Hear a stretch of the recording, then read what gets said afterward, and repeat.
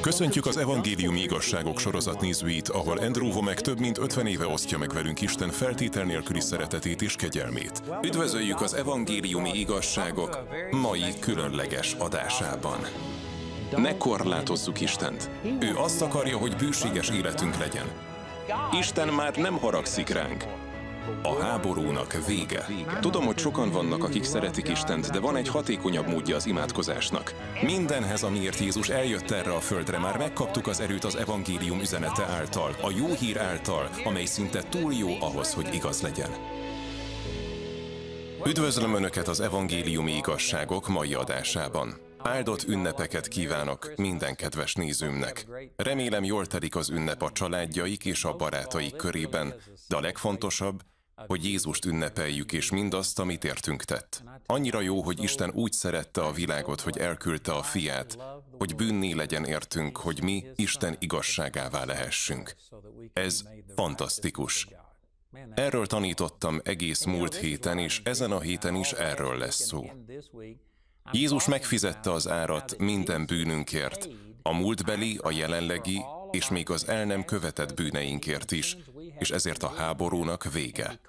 Ezt a címet adtam ennek a tanításomnak. A háborúnak vége, amit a Lukács evangélium a második fejezet 14. versére alapoztam, amit gyakran hallunk a karácsonyi időszakban. Dicsőség a magasságban Istennek, és a földön békesség, és az emberekhez jó akarat. Ez nem az emberek közötti békességről szól, hanem Isten emberekkel kötött békességéről. Izsaiás 42. Szóljatok Jeruzsálem szívéhez, és hirdessétek néki, hogy vége van nyomorúságának, hogy bűne megbocsáttatott, hiszen kétszeresen sújtotta őt az úr keze minden bűneiért. Azt mondja, hogy a háborúnak vége. Miért? Mert kétszeresen fizetett minden bűnért. Itt Jézusra utal, ő fizette meg a büntetés kétszeresét. Az elmúlt napokban Izsaiás 52. és 53. fejezetéből tanítottam arról, hogy Jézus hogyan fizetett a bűneinkért. Azt mondtam, hogy nem csak akkor fizetett és szenvedett, amikor megverték és keresztre feszítették, hanem egész idő alatt, amíg itt volt, a földön járt, és Jézus szenvedett. Ő volt a mindenható Isten, és mégis fizikai testbe korlátozta magát. Volt, hogy elfáradt, éhes volt, melege volt, fázott, az ige azt mondja, hozzánk hasonlóan kísértést szenvedett mindenben, kivéve a bűnt. Elutasításban volt része. Azt írja, megvetett volt és emberektől elhagyatott, fájdalmak férfia, betegség ismerője. Eltakartuk arcunkat előle, megvetett volt, nem törődtünk vele. Pedig a mi betegségeinket viselte, a mi fájdalmainkat hordozta. Mi meg azt gondoltuk, hogy Isten csapása sújtotta és kínoszta. Pedig a mi védkeink miatt kapott sebeket, bűneink miatt törték össze.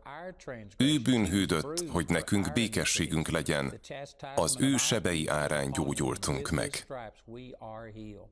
Az előző adásban ezzel foglalkoztunk. Azt mondtam, hogy ha Jézus elszenvedte minden fájdalmunkat, bánatunkat, a védkeink miatt kapott sebeket, ő bűnhűdött, hogy nekünk békességünk legyen, és az ő sebei árán gyógyultunk meg, akkor mindezt én már nem fogom magamra venni.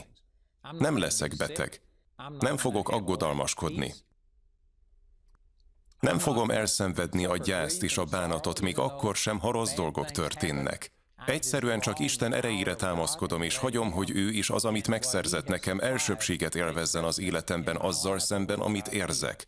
Aztán a hatodik versben így folytatja, minnyájan tévejektünk, mint a juhok, mindenki a maga útját járta, de az Úr őt sújtotta minnyájunk bűnéért. Szó lesz még arról az árról, amit Jézus fizetett, de figyeljék meg, mit ír itt. Azt mondja, hogy olyanok voltunk, mint a juhok, tévejektünk, de az Úr őt sújtotta minnyájunk bűnéért. Jézus elhordozta a bűneinket, hogy nekünk ne kelljen a szégyen és a bűn terhe alatt élnünk.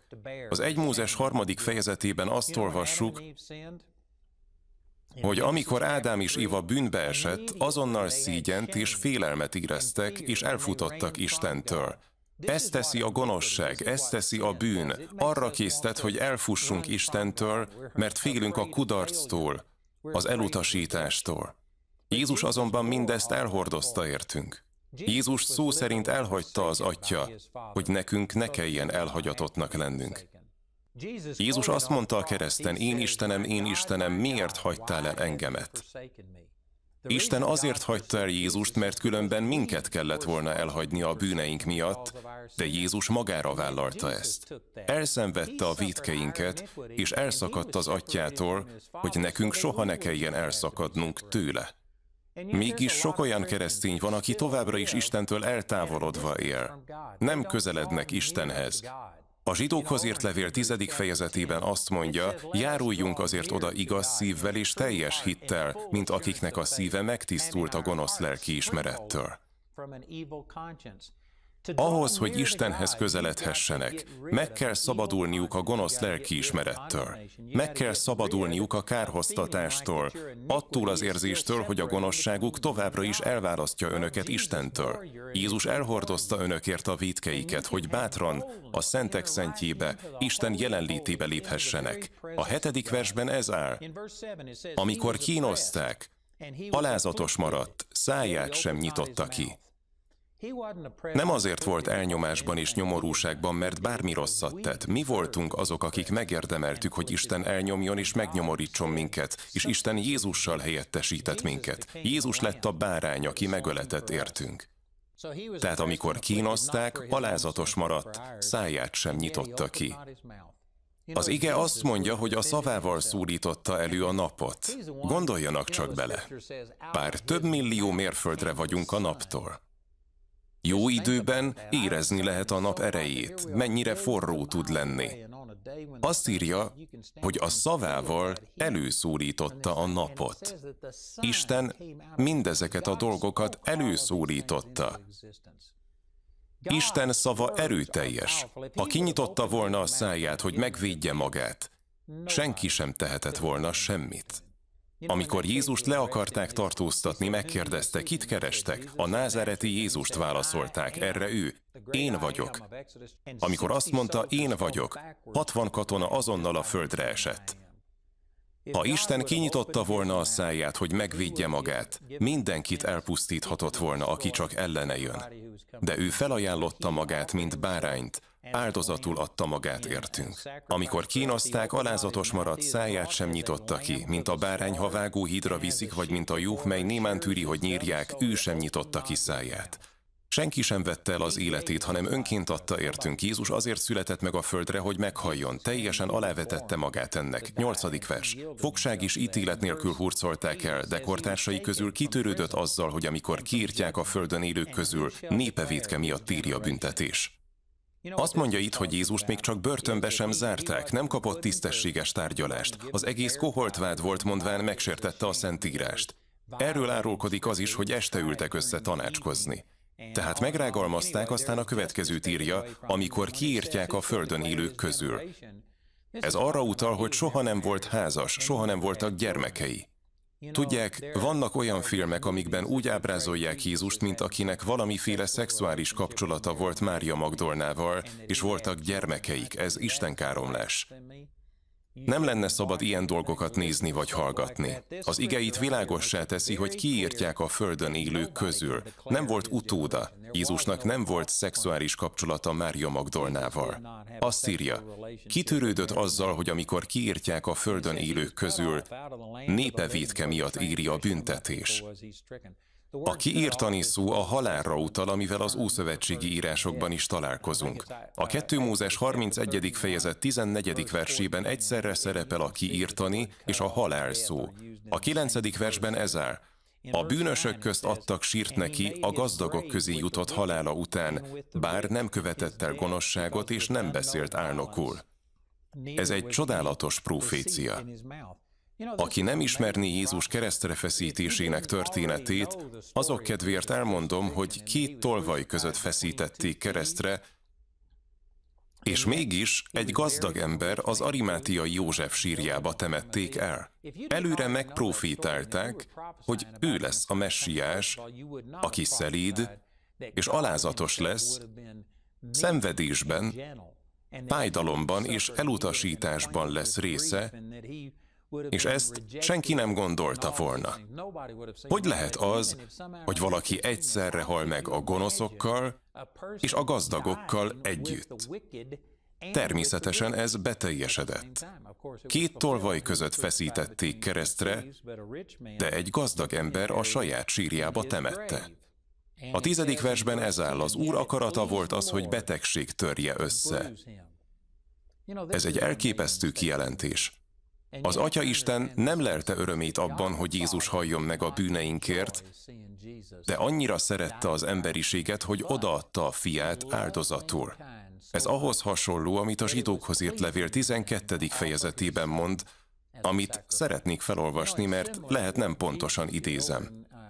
Tehát a zsidókhoz írt levél 12. fejezet azt írja, hogy álhatatossággal fussuk meg az előttünk levő pályát, nézzünk fel Jézusra, a hit szerzőjére és beteljesítőire, aki az előtte levő öröm helyett a gyalázattal nem törődve vállalta a keresztet, és az Isten trónjának a jobbjára ült. Ez azt mondja, hogy a Jézusra váró öröm volt az, ami lehetővé tette számára, hogy vállalja a keresztet, nem törődve a gyalázattal. Ez nem azt jelentette, hogy előre várta a keresztet, hanem azt, hogy túltekintett a kereszten. Ránk nézett, és annyira szeretett minket, hogy úgy gondolta, a kereszt szenvedése, az, hogy bűnné vált értünk, és mindezt elszenvedte, valóban megérte. Az ő akarata volt, hogy elhordozza a keresztet. Ebben az értelemben mondja itt azt, hogy az Úr akarata volt az, hogy betegség törje össze. Nem hiszem, hogy Isten örömét lelte a fia kigúnyolásában, szenvedésében és halálában. Nem akarta ezt látni, de annyira szeretett minket, hogy elküldte a fiát, hogy megfizesse ezt az árat, amit mi soha nem tudtunk volna megfizetni. Ha Jézus nem lett volna, akkor az egész örökké valóságot Istentől elválasztva a pokolban kellett volna töltenünk. De Isten annyira szeretett minket, hogy úgy gondolta, megéri meghoznia ezt az áldozatot. Ez fantasztikus. Az Úr akarata volt az, hogy betegség törje össze. De ha fel is áldozta magát jóvátételül, mégis meglátja utódait, sokáig él. Az Úr akarata célhoz jut vele. Lelki gyötrelmeitől megszabadulva látja őket, és megelégedett lesz. Ez csodálatos, lelki gyötrelmeitől megszabadulva látja őket, és megelégedett lesz. Az Ószövetségben, amikor valaki áldozatot vitt a papnak, az már eleve arról árulkodott, hogy az illető védkezett. Nem mutattak be áldozatot, hanem követtek el bűnt. Ez volt a fizetség a bűnükért.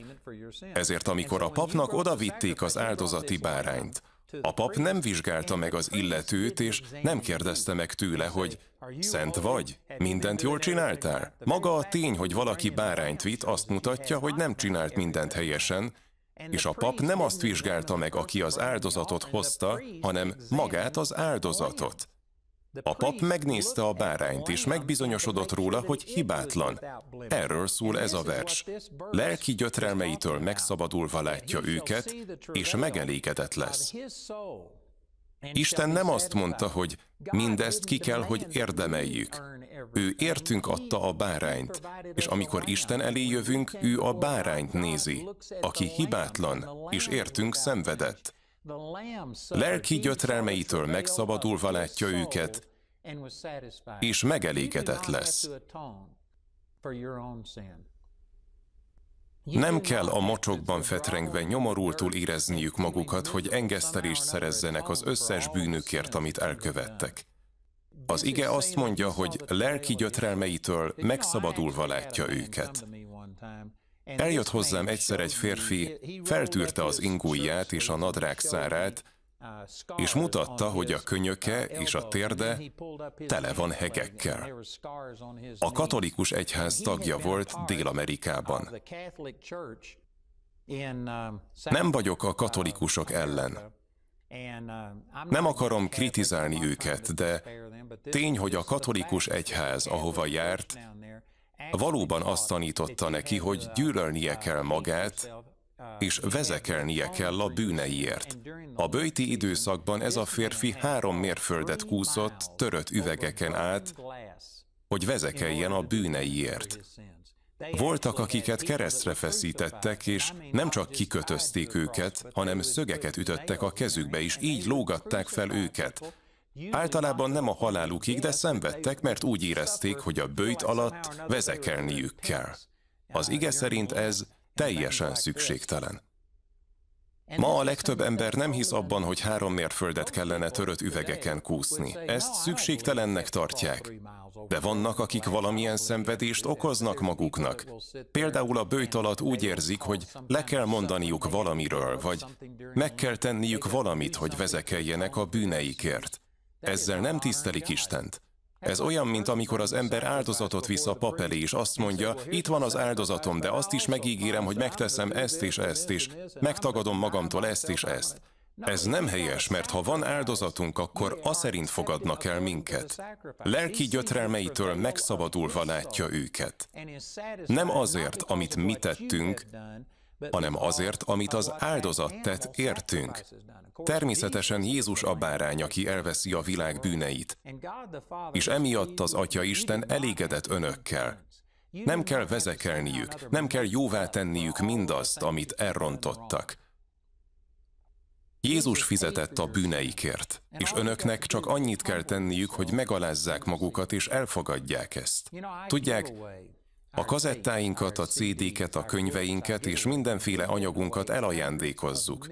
Több száz millió dollár értékben ajándékoztunk már el dolgokat is, Mégis vannak, akik semmit sem hajlandóak ingyen elfogadni. Inkább fizetnek érte. Emlékszem egy hölgyre. Ez még akkoriban történt, amikor kazettákra vettük fel a tanításokat. Ez a hölgy írt nekünk egy levelet, amiben három kazettát kért tőlünk. Ennyit osztottunk ki hetente ingyen, de ő azt írta, hogy nem fogadja el ezeket ingyen, hanem fizetni fog értük, és kérte, hogy küldjük el a számlát. Így hát elküldtük neki a kazettákat, amiket kért, de nem küldtünk számlát. Erre azt írta. Nem tudom, mi történt, de mondtam, hogy én kifizetem a kazetták árát. Újabb három kazettát szeretnék rendelni, de ezúttal hat kazettáról állítsanak ki számlát. Így hát küldtünk neki további három kazettát, de nem küldtünk számlát. Ezen aztán nagyon felháborodott, és a következőt írta. Nem tudom, mi történt, de senki sem ad nekem ingyen semmit. Küldjenek további három kazettát, de ha ezúttal nem kapok számlát kilenc kazettáról, soha többé nem rendelek önöktől semmit. Nagyon feldúlt volt. Válaszként küldtünk neki három kazettát, és a következőt írtam neki. Nézze, mi ajándékba adjuk az anyagainkat, és ha az áldására vált, van lehetősége adakozni segítve ezzel a szolgálatunkat, hogy más embereket is elérhessünk. De az anyagainkat ajándékba adjuk. Nem tudja megfizetni ezeket, mert ahhoz túl értékesek. Nincs elég pénze, hogy fizessen az igazságokért, amiket megosztok, ezért vagy ingyen elfogadja, vagy nem kapja meg. Nem emlékszem, hogy ez a nő azóta írt volna nekünk. Nem tudom, mi történt. De látják, vannak, akik egyszerűen nem tudnak alázattal ajándékot elfogadni. Vannak, akik az étteremben mindig meg akarják hívni a másikat, vagy megfogadják, hogy legközelebb ők fognak fizetni. Tudják, én szeretek adakozni és másokat megvendégelni csak azért, mert jobb adni, mint kapni. De megtanultam, hogy amikor valaki meg akar áldani, egyszerűen megköszönöm, és elfogadom. Vannak emberek, akikben ez kódolva van. Számukra ez a méltányosságról szól, arról, hogy ha valaki tesz értük valamit, akkor azt vissza kell fizetniük. Sajnos sokan vannak így Istennel. Azt gondolják, Istenem, megmentettél, ezt most vissza kell fizetnem, érted kell élnem, meg kell tennem ezeket a dolgokat. Nos, én hiszem, hogy Istennek kell felajánlanunk az életünket, de csak is hálából, szabad akaratból. Nem tisztelik Istent, ha azt hiszik, hogy tartozásuk van Istennel szemben, amit vissza kell fizetniük. Valójában azzal tisztelik Istent, ha áldozatot visznek elé, mondván, itt van Jézus. Jézus által kerülhetnek kapcsolatba vele, amiatt, amit önökért tett, és ezt alázattal, ajándékként kell elfogadniuk. Itt azt mondja, hogy lelki gyötrelmeitől megszabadulva látja őket. Isten megelégedett önökkel. Az engesztelés megtörtént, és nem azért, mert mindent jól csináltak, hanem azért, mert Jézus mindent jól csinált önökért. Igaz szolgám sokakat tesz igazzá ismeretével, és ő hordozza bűneiket. Ezért a nagyok között adok neki részt, a hatalmasokkal együtt részesül zsákmányban, hiszen önként ment a halálba, hagyta, hogy a bűnösök közé sorolják, pedig sokak védkét vállalta magára, és közben járt a bűnösökért. Ismétlem ez arról szól, amit Jézus tett értünk, és Isten ezért megjutalmazta őt. Nem szabad elfelejtenünk, hogy a Bibliában a fejezetek és a versek felosztását emberek végezték, hogy hivatkozhassunk rájuk. Nincs ezzel semmi baj, de ez az 54. fejezet nem egy új témáról szól. Nem fejezte be az előző fejezetben írottakat. Az 54. fejezetet tehát így kezdi. Újjong meddő, aki nem szültél, vígan újjong. Örvendj, aki nem vajúttál, mert több fia lesz az elhagyottnak, mint a férjes asszonynak, mondja az Úr. Ismétlem, mindez annak az eredménye, amit Jézusról mond az 53. fejezetben. Itt nem csak a fizikai meddőségről van szó, hanem azokról az emberekről, akik a többiekhez képest kevésbé tűnnek sikeresnek, akiknél másként működnek a dolgok. Amihez csak hozzáérnek, az nem aranyá, hanem porrá válik. Ha magukra ismernek, akkor örvendezniük kell, mert több fia lesz az elhagyottnak, mint a férjes asszonynak. Vagyis akik értéktelennek érzik magukat, Jézus által gyümölcsözőbbek lehetnek, elérhetik a teljes potenciáljukat, és még többet is, mint azok, akik önöknél talán nagyobb tehetséggel is veleszületett adottsággal rendelkeznek.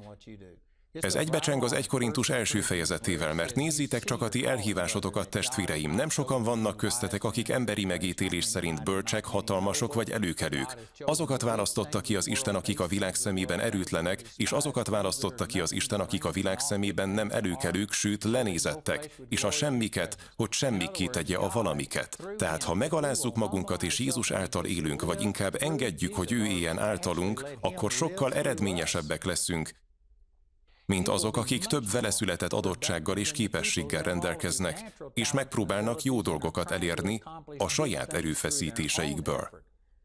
Amikor önmaguk végére érnek, ott jöhet be Isten. Így azok, akik meddőnek érezték magukat és másokhoz képest eredménytelennek, Jézus által gyümölcsözőbbek lehetnek, mint bárki más. Ezt mondja az Izsaiás 53. fejezete. Ez fantasztikus. A második versben ez áll. Tágas helyet keress a sátradnak, feszítsd ki sátorlapjaidat, ahogy csak lehet. Húzd meg jól a köteleidet, erősen verd le szövekeidet, mert jobbra is, balra is terjeszkedni fogsz, utódaid elfoglalják a népek birtokát, és elpusztított városokat telepítenek be. Ez arról szól, hogy ha eddig korlátolt, visszafogott életet éltek, akkor most fel kell készülniük a növekedésre. Hosszabbítsák meg a köteleiket, erősítsék meg a szövegeket, szélesítsék ki a sátraikat, növeljék meg a befogadó képességüket. Mert Jézus által, azáltal, hogy mindezt megszerezte nekünk, olyan jólétben lehetünk, amiről korábban álmodni sem mertünk. Ezek fantasztikus dolgok. Karácsonykor ünnepeljük azt, amit Jézus tett értünk. Bátorítom önöket, hogy szerezzék be a Háborúnak véget című könyvet. A könyv magyar nyelven is elérhető. Angolul készítettünk egy tanulmányi útmutatót, ami tartalmazza a könyv anyagát, de vannak benne kérdések is. Azért készült, hogy másokat is tanítványozhassanak. Rengeteg anyagunk van ebben a témában. Látogassanak el a honlapunkra, ahol megrendelhetik az anyagainkat, válogathatnak a könyv ajánlatainkból, és meghallgathatják a különböző hanganyagainkat. A havonta megjelenő hírleveleinkből pedig rövid igei bátorítást kaphatnak. Ezen kívül szeretném a figyelmükbe ajánlani a Magyarországi Kárész Biblia iskolánkat. Az adás végén megjelenő elérhetőségek egyikén hívjanak vagy írjanak még ma. Tartsanak velem a következő adásban is.